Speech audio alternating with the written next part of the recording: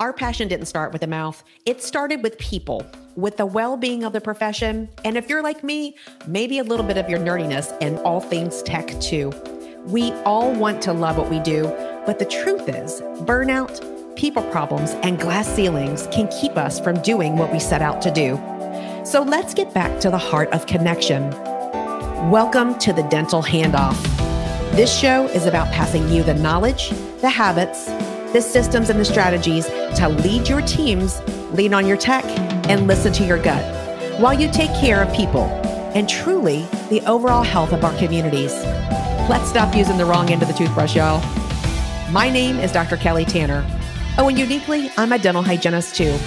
You can consider me a guru in the dental and leadership industry. With over three decades of experience, my goal is to take you to the next level by empowering growth, perspective, and confidence.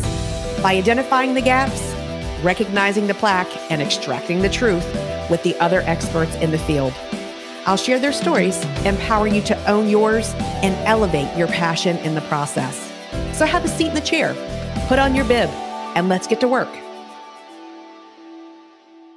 Welcome to the Dental Handoff. I'm Dr. Kelly Tanner, RDH, and today I have with me, we're at the SmileCon event, ADA, I have Patrina Allen with me. Now, I ran into her last night. We were at a Philips event, and what's unique about Patrina's story is that she's also a dental hygienist. She also graduated from the same dental hygiene program that I that I went to, and now she's got another side of her story that she's going to tell us today.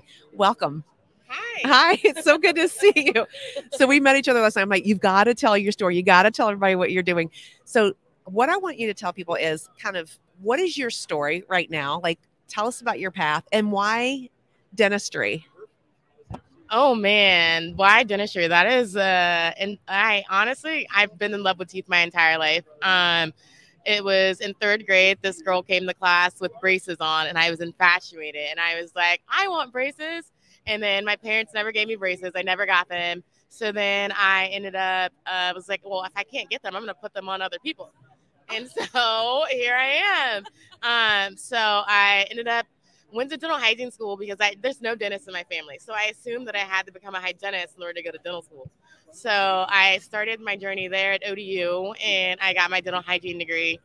And then um, I was like, a lot had happened in my life, and I was just like, fine, I'll just be, I'll stuck, I'll stick with being a hygienist. Like, I want to work now. School was like, hygiene school wasn't the easiest thing, but it, I, it was doable, you know. Yeah. And so, um, so I started working, and I moved actually to Texas, and then I started working here, and um, I worked at two offices, one in San Marcos and one in Austin, and I ended up going to a Philips Sonicare event. I know Dr. Brian Novy spoke, and um, he talked about all the things in dentistry, like, like how the things like um, what hasn't been discovered just yet in dentistry. And I was inspired, and I was like, you know what, I'm going back to school. So then I ended up moving back home to Virginia, went back to ODU, took the rest of my prerequisites, and now I am a fourth year dental student at UNLV School of Dental Medicine. How wild is that, you guys? Isn't that awesome? Because every story, every story that someone tells is so unique. So, how is dental school going? How has it been? How does it compare to dental hygiene school? Oh, you know what? To me, be, maybe it's because I've had the background in dentistry already. It was easy. A lot of people struggled. Um, there was a couple instances where like you struggled a little. I struggled a little bit rather, um, but for the most part, it was pretty easy as long as I had like a good studying schedule. Like we took 30 credit hours every semester our first year, so that's a heaping a lot of studying, a heaping a lot of school, eight to five, and then hours outside. Um, and then we had the ugly COVID. So that put a like a whole spin on school, but um, it's it's going. I mean, it's doable. I've I've done it. Like I've made it into my fourth year. Um, I have six more months left, and it's just right now. I just feel like I'm cruising. That's that's so awesome. You were telling me last night about the differences. One of the major differences with the handpiece that you yeah. had to overcome. Tell our audience more about that. So, as you know, or you may not know, but as a hygienist, when you're working with your handpiece and your foot on the rheostat, um, you can just kind of just hold your foot on the rheostat and then go and um, from tooth to tooth. But as a dentist, you know, you have to make sure that the burr stops because the burr is still cutting. And so if it's still going, you might nick another tooth and then that causes an issue for for us. We had plastic teeth, but you know, like when you're actually in the patient's mouth, you're going to be working on real teeth. You're going to be, you know, making micro tears in the patient's enamel, so you just got to make sure that you keep your hands steady when you're working. So what's your plan after dental school? I am going to do an AEGD. I accepted an offer at a, an AEGD program um, in North Carolina. So I will be doing that. And then I'll take the one year route. And then I'm going to hopefully get out and start working um, at an office somewhere. I'm not sure if I want to do private or if I want to do DSO. We'll see where um, everything takes me. Wow. Okay. Has there been one subject or one particular uh, procedure that you love doing so far? When I first started out, so we started in clinic our second year. So what we only do hygiene procedures, and then you can do if your patient has or needs a restoration, then you can do a restoration on them. Um, but we started out. I think my third year, I was in love with extractions. Oh. Um, they're just, it's just uh, like it's muscle, it's brain power. It's like you just have to make sure that you're. It's a technique sensitive. You got to make sure you're doing it right. But once you get it, and you just feel like it's a, a feeling you can feel the pop of the tooth and then it's just like it's out and you're just like i did that you know um but recently i've been doing a lot of perio surgeries and those have like been really interesting to see like you just watch it um, it's the flaps, you get the flap, and then you clean everything out, and then you sew it back up, and then it's just like an almost like an instantaneous healing a little bit. Um, you can see watch the tissues just kind of like sink back in, and then you go back. It's it's very interesting. Perio surgeries are very very interesting, and I like them a lot. So do you think that you'll do those in your practice? Do you think you'll refer them out? What do you what is your initial gut on that? Um, I'll probably refer them out. I don't think I have that much experience with perio surgeries. Actually, like, because when we do them at school, you watch the periodontist. The periodontist pretty much does most of it. But like, if she'll let you do like, um, say if it's like o- or osteosurgery where like you're um, scaling root planing, so then she'll let you go in and clean the calculus off, and then um, you can suture the patient back up. But for the most part, when it comes to like the cutting and all the flaps, they do that typically, um, just because they have a little bit more knowledge of the structures, and it's kind of like. Um, we, I mean, we did do like a, a, lab where they taught us how to do all the cuts and the incisions, um, but I let let the periodontist do it. I just don't feel that comfortable and that confident in my abilities to do the perio surgeries, but I think they're very interesting.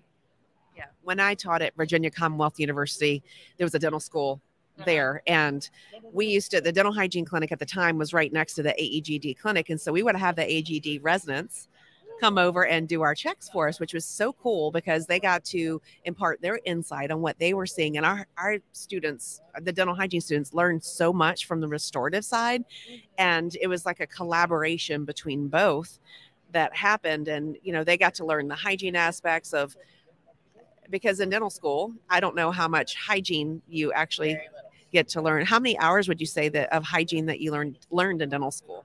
I mean, probably six. Well, because you have like uh, we have perio classes, but for the most part, it's you know maybe like one class will be specific for like um, hygiene procedures, and then everything else is like hygiene from a dental standpoint uh, or like a perio from a dentist standpoint, excuse me. Um, so it's not a lot of um, hygiene that you learn in dental school. It's very, very little. You, I think there was one class where we did probing, and then um, there's the one class where they teach you like the, the basic instruments, like the Gracies and the scalers, and they teach you like sharpening, but it wasn't like a very in depth like you would per se in hygiene school.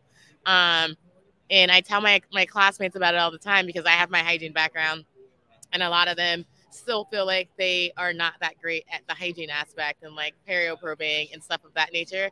And I'm like, but we have like hygienists on staff that kind of they're there and they're gung ho hygienists. So like they know hygiene, they've been doing hygiene for years. And so they it's like a little conflict between our students and our hygienists because it's like the students are like, well, we're not gonna be doing this when we get out of here.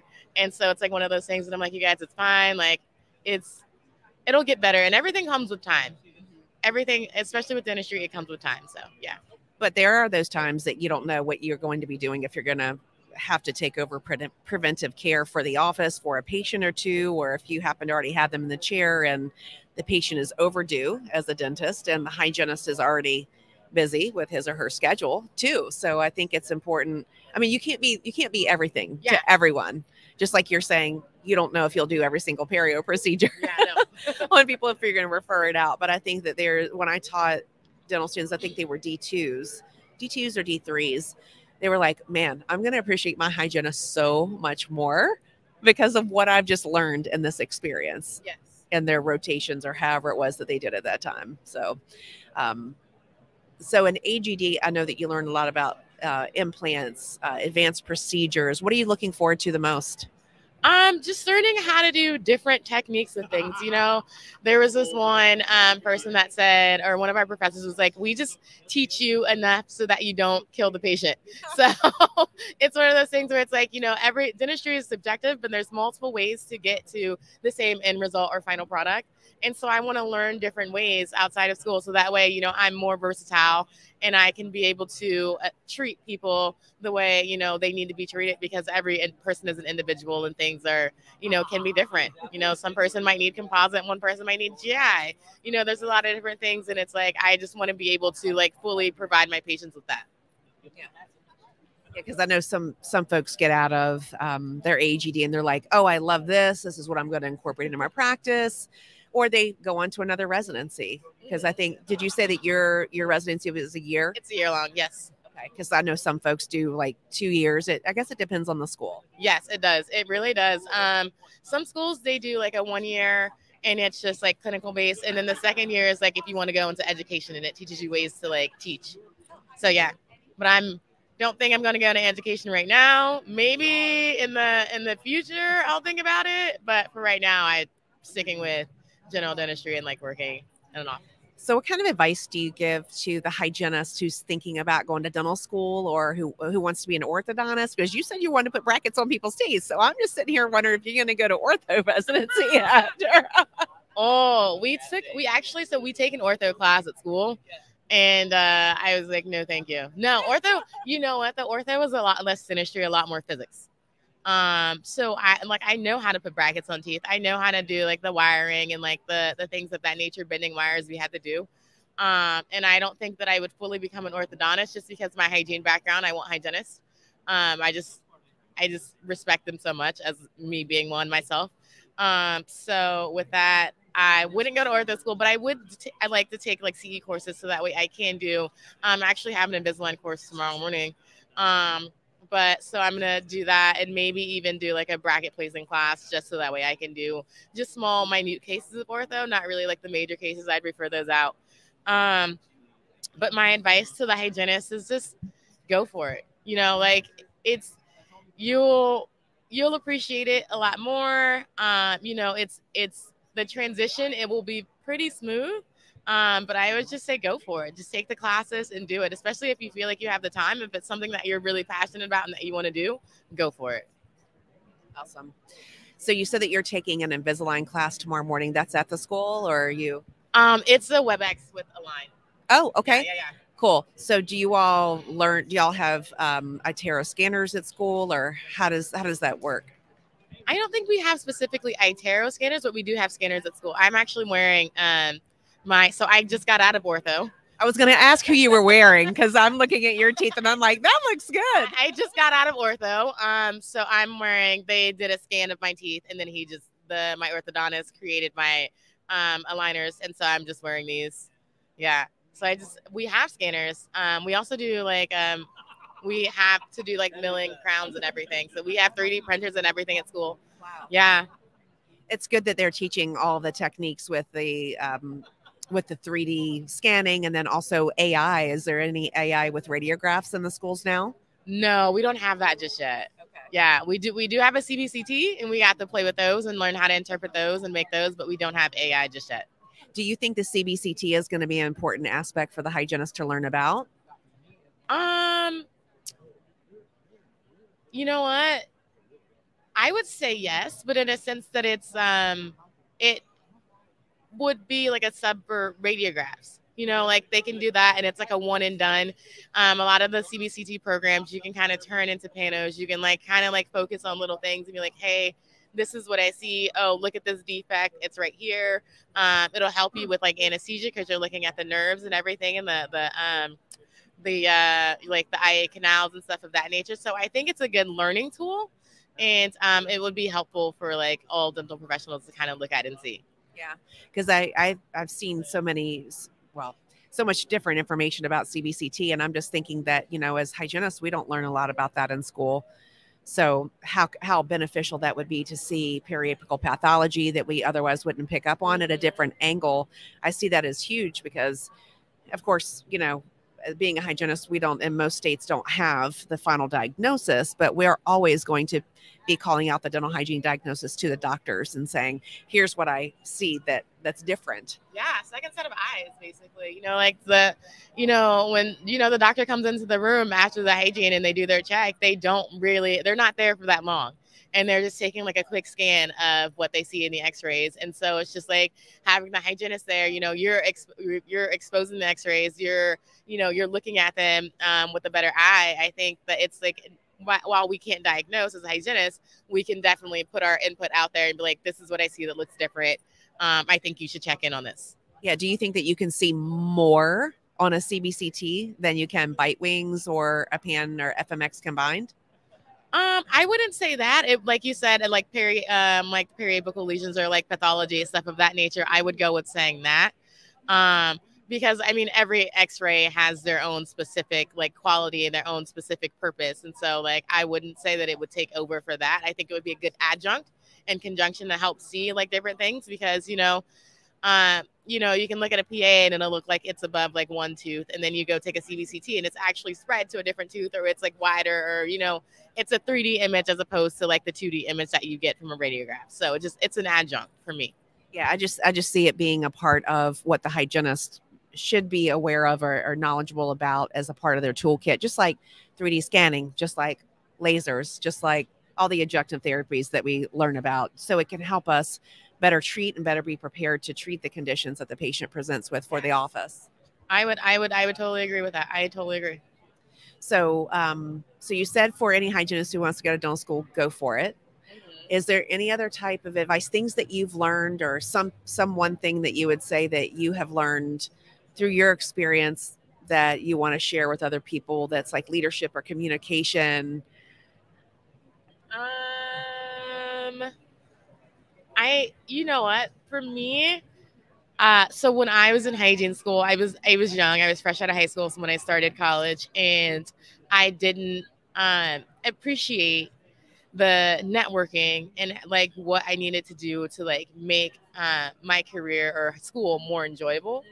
Um, now, my second go around with this, I've I've done a lot. Like I'm the president of a club at school, um, and I've just been networking a lot, and it's made and it's made my last couple of years at school way more enjoyable. And i think it gives me like i've gotten to go to so many conferences and so it's given me something to look forward to. And so i knew when to do my work and kind of set my goals and like you know it's and then i got my reward where i got to go to things like this and like get see new products experience new things meet new people. And it's just like it's it's just a great time. Um and so i just that is like one of the things networking is so important for support as a professional, as a human. Mm-hmm. And were you, so you said that in hygiene school, you didn't really network much. You were, I mean, in hygiene school, it's hard because you're trying to establish your study habits. You're trying to figure out who you are because it's a, it's a different time in life. Mm-hmm. You're trying to do all the balancing.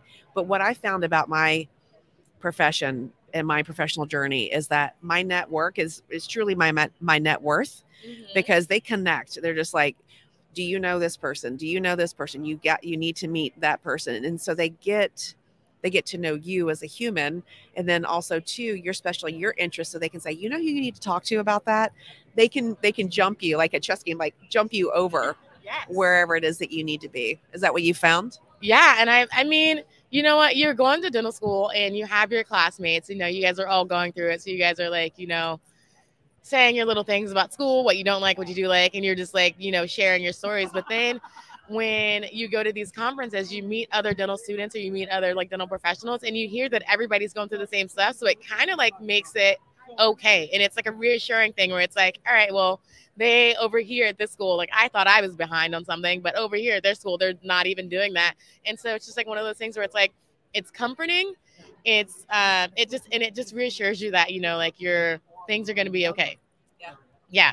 Networking is great. Yeah, it's, and it's, um, what would you say to students like dental hygiene students because knowing like going back putting yourself back in the time machine what did, what would you what kind of advice would you give hygiene students about networking um just stay you know a part of the organized industry the you know keep up with your um your local components your state components just like just go to every event that you can just meet as many people as you can because you never know whose story you can hear that will change your life or who's going to hear your story that you're going to change their life that's powerful yeah so being a member of the ADHA. Yes. So were you you were a member? I was a member of the ADHA. Yes. Yeah, and it's it's the students I teach now at Peninsula, um, Virginia Peninsula Peninsula Community College, formerly Thomas Nelson Community College. They they are now embracing and embarking upon their professional journey, and they're like, we never knew all of this existed. Yeah out of the out out of the classroom because you feel you can feel so isolated. You can feel so siloed in what it is that you're doing.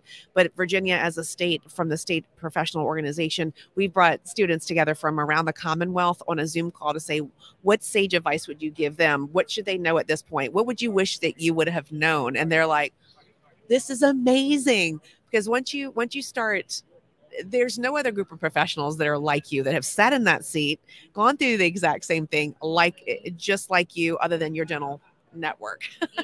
because they've all been they've all been a D1, they've all been a D2, they've all been a dental hygiene first year student, and so that brings you together in so many ways. It bonds you to say, I remember that. Here's what I did. Here's advice, and then to be able to find a mentor in the profession. Have you? Do you have mentors now? I do. I um I have a mentor. I we meet with him once a month at uh, a restaurant, and he just tells us everything that we need to know. He's sent us this whole PowerPoint, and we can you know look at it ahead of time, or we go through and we just talk about everything, and he just gives us advice on like um uh like you know owning a practice or like what we should look for in salaries and things of that nature because it's a lot of things that you really don't think about like once you get out of school you're just like oh man there's a lot of stuff. Like look at all these booths here in this in this thing. Like these are or in this in the dental uh, central. Like these are things that we have to consider, and it's a lot. So it's one of those things where like it's it's good to have a mentor to kind of steer you in the right direction, um, and that goes with like networking and everything. Just being able to have someone that's been there to help you out because it's a it's a hard road to navigate. But when you have that person there to help you, it's it makes it a lot easier yeah, to feel, I can't imagine just when you said that, I was thinking about coming to one of these events as a D4 going, oh my gosh, I feel so overwhelmed by all the decisions I have to make.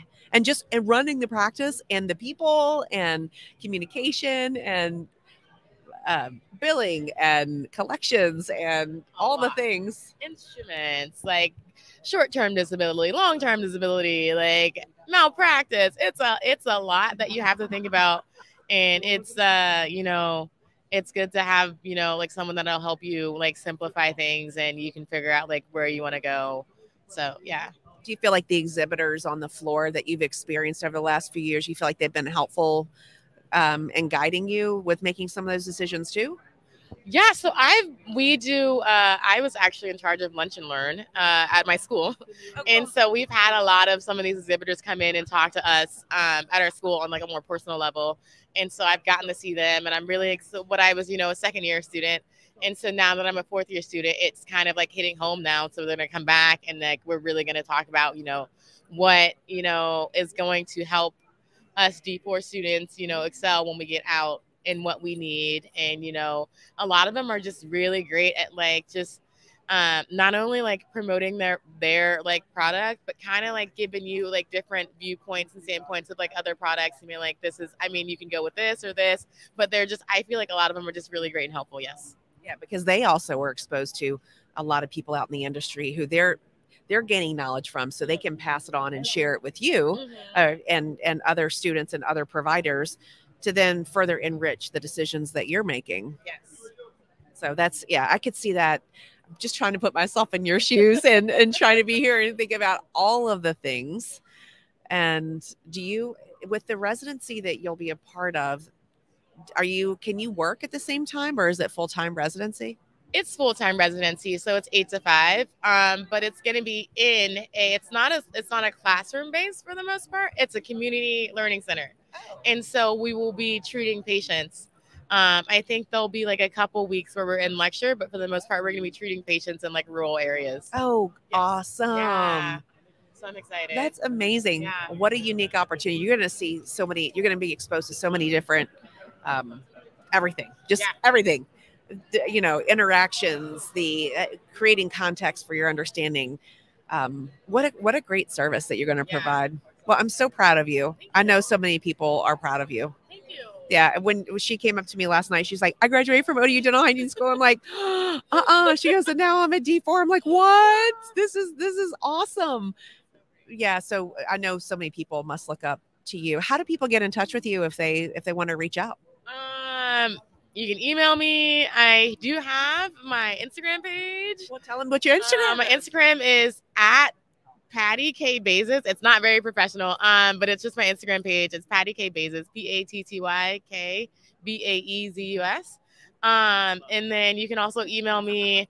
Uh, you can use my student email. So it's Allen, A L L E N P, the number four, at unlv.nevada.edu you can reach out to me, ask me any questions you want. I'm pretty much an open book. I like to share my story just because it's, I just feel like it's, I'm such a non, I'm a non traditional student. And, you know, like it's, I don't have like the, the legacy, like the dental family member. And so, like, I had to kind of like maneuver my way through all of this on my own for the most part. Um, and so, like, it's a, it was, it's doable. It was a learning curve, but it's doable. I did it. So I would like to share that with other people who, have, who are doing it. That's so powerful. Yeah. Thank you. And then we'll put her contact information in the show notes as well for you all. Thank you so much for being with us today it's eh, i'm just so proud of you and your journey. So um hope you all have enjoyed our show today. If you wouldn't mind doing us a favor to all of our listeners give us five stars on apple and then like us subscribe us subscribe us share everything. So thank you guys. Be well. Thank you for all that you do out in the community the publics we serve